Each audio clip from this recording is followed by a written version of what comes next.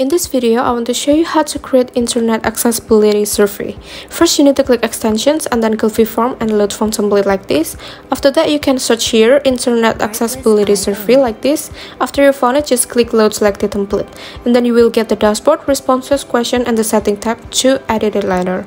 And just refresh the page and go to Google Form and get link like this. And click Continue and then go to your account. And then click Advanced here and go to Google Form and then just click allow here. And then you will get the link. Just wait for it. Like this. Just copy it all and paste it on your search engine. Just wait for it.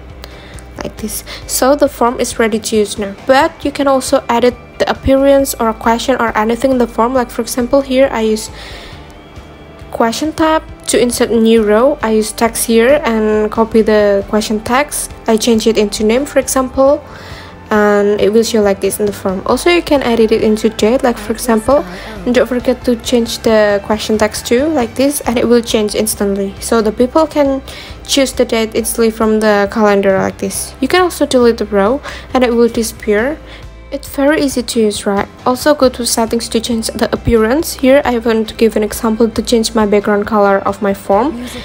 Like this, so it will change instantly it's very easy to use. You can also use it. And on this block i want to give an example to edit the html you can use it too. For example here i want to delete the marquee behavior. It's a style for the title and go to your form to check it.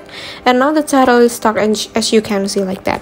Also i want to give an example to update the logo like this. Just copy the link and put it on logo id and then refresh your form and it will update it instantly